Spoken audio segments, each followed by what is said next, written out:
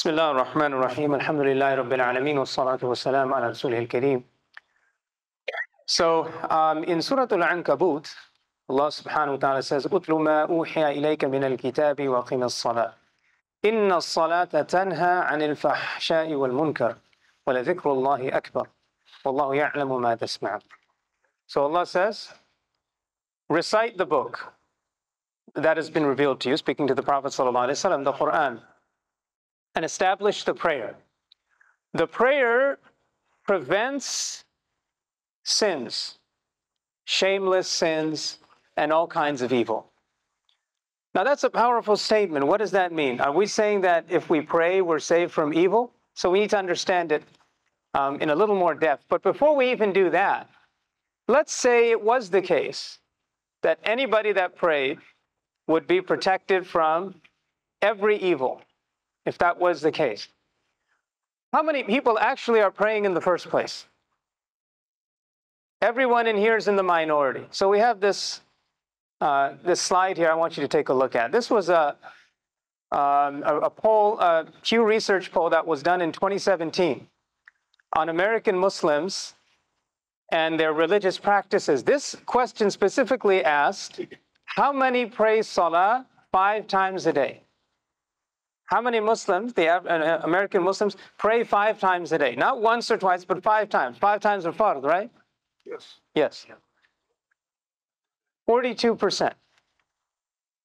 42% of American Muslims pray five times a day. That means that 58%, more than half, are not praying five times a day. 30, uh, 25% were uh, answer, or 17% said some, 25% said less often, whatever that means, once, 15% said not at all. Now, if we're talking about preventing evil and preventing uh, fahisha and you know really shameful bad deeds, evil deeds, if the majority is not praying, then that's a serious problem. So this is a little bit eye-opening, right? Now we come back to the verse. The reality is, alhamdulillah, from there are 42% that are praying the five daily prayers. And there are many, many thousands and thousands of Muslims who pray regularly, and it absolutely does prevent them from committing major sins. It absolutely does prevent them from committing major evils, and it guides their life so that they do the best they can. Now, we all are going to commit sins. No one is free from that. But certainly there's a, uh, there's a degree and there's a level, and many people that pray regularly, they are prevented from committing those uh, major sins and even other minor sins. So what does it mean? The word used here is tanha. That it, it doesn't mean prevents or completely stops from sins. That's the first thing to understand. It is kind of saying discourages or will allow you to be prevented from committing evils.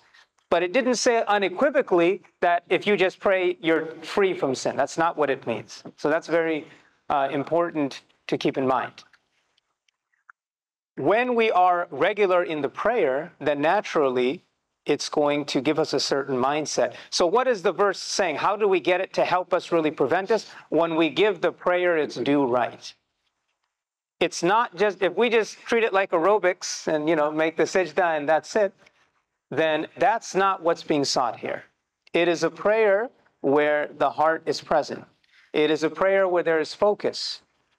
And everything we do outside of prayer directly affects the prayer, especially in Ramadan.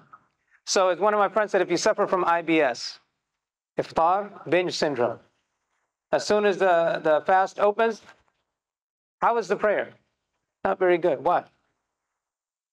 Why? Because we, we've just stuffed ourselves. You're feeling sick. In the Fajr, if you, uh, or uh, before Suhoor, if you're just trying to get everything in, it's very difficult to pray. It's directly related. So what we do outside the prayer directly affects what happens in the prayer. The distractions affect what happens in the prayer.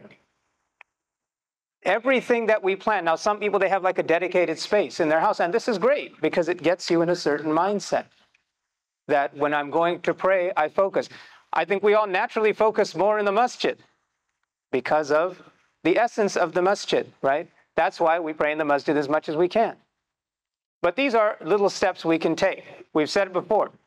One thing to do is simply just slow down in the prayer. Just physically slow down. A lot of times, you know, I feel like we want to change the world as Muslims, but we've forgotten about the complete basics, right? If we're not praying regularly and we want to do all these things, how is the help going to come? Where's the help going to come from? The Prophet ﷺ would, would run to the prayer for his needs. وَاسْتَعِينُوا بِالصَّبْرِ وَالصَّلَاةِ Seek help from Allah with patience and prayer. Now, we often say the patience part, forget the prayer part. Right? So, this, uh, now someone may say that, look, I do pray. I pray regularly, I pray five times a day, but, you know, I'm still involved in a lot of wrong. We say to them, keep praying. It's going to eventually have an effect. Something's going to happen. How long did it take you to get your degrees? Four years?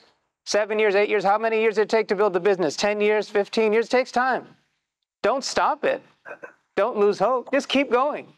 Inshallah, there will be good because Allah has said that there will be if we continue to improve. The other thing is prayer, just like everything else, it's a process. Yes, we learned the basics, right? But we continuously improve on that process. It's not just like, okay, I'm good, I have the prayer now. This also shows us the importance of the, the sunnah because they make up for the deficiencies in the fard, which we will be asked about. And of course, the first thing we're going to be asked about is the prayer. So it's good to take some time out to remind ourselves and not just sort of get, you know, complacent and just take it for granted. If you pray four rak'ah and you're focused, that's better than praying 30 rak'ah. If you can pray 30 and be focused, mashallah, good. That's great. I'm not, I'm not saying not to do that, but we want to concentrate on the focus and getting the most we can. Now, the last point we'll make, and there's many we can make about prayer. The last point we can make, let's say you're praying and maybe you get a little distracted, maybe you kind of, you know, mind goes out, sort of comes back in. Whatever you do, when you when you're ending the prayer, be focused on the prayer. Because a'malu bil khawatim. Actions are by their endings. This is why we're always making dua for husnul khatima, for a good end. So if you're trying to get back, you're distracted, just and I'm not, of course, I'm not saying intentionally be distracted and in the end just concentrate. Of course, we're not saying that. But if we feel that we've kind of been going in and out and struggling, just do your very, very best at, at the end of the prayer. Have your heart present, have your mind present, know what you're doing. And inshallah, this will help. And with Allah's mercy, He will overlook our mistakes. So may Allah subhanahu wa ta'ala allow us to feel love and comfort in the prayer the way the Prophet sallallahu alayhi wa sallam did. Hadu Allahu alam. Sallallahu ala Sayyidina Muhammad.